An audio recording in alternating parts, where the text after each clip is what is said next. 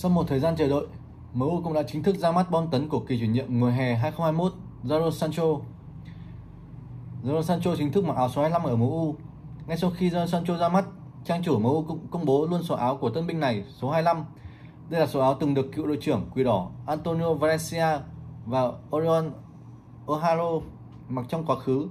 Trước đó, dư luận đồn đoán Sancho sẽ được trao áo số 7 nhưng chủ nhân hiện tại của số áo này, Edison Cavani đã không đồng ý nhường lại cho đàn em. Sancho chính thức mặc áo số 25 ở MU. Ngay sau khi Jadon Sancho ra mắt, trang chủ MU cũng công bố luôn số áo của tân binh này. Sancho quyết tâm tỏa sáng tại ngoại ngoại hạng Anh. Sau quãng thời gian chờ đợi, vào tối 23 tháng 7 giờ Việt Nam, MU cũng chính thức đón công bố bản hợp đồng bom tấn do Sancho thông qua đoạn video cực kỳ ấn tượng trên trang chủ. Như những thông tin từ trước, ngôi sao 21 tuổi gia nhập đội chủ sân Old Trafford từ Dortmund theo bản hợp đồng có thời hạn 5 năm, trị giá 73 triệu bảng.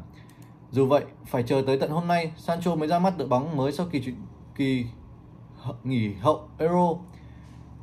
Theo một số nguồn tin, Sancho sẽ nhận mức lương lên tới 350.000 bảng trên tuần. Tại Old Trafford, chỉ kém trụ thủ thành David De Gea 375.000 bảng trên tuần. Phát biểu trong buổi lễ ra mắt MU, Sancho cho hay, dù luôn biết ơn Dortmund vì đã trao cơ hội thi đấu chuyên nghiệp, tôi biết rằng bản thân sẽ trở lại Anh một ngày nào đó. Giờ đây, để khoác áo MU chẳng khác nào giấc mơ trở thành sự thật. Tôi không thể chờ tới thời điểm tung hoành tại ngoại hạng Anh. MU sở hữu đội hình trẻ trung và đầy hứa hẹn. Tôi tin rằng câu lạc bộ có thể phát triển để mang những thành công mà người hâm mộ kỳ vọng.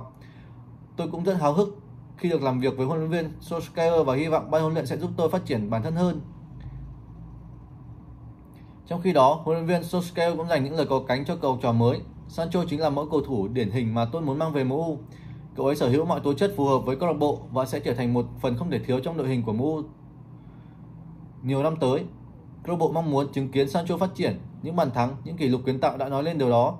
Hy vọng cậu ấy cũng mang lại tốc độ, sự tinh tế và sức sáng tạo vượt bậc cho MU.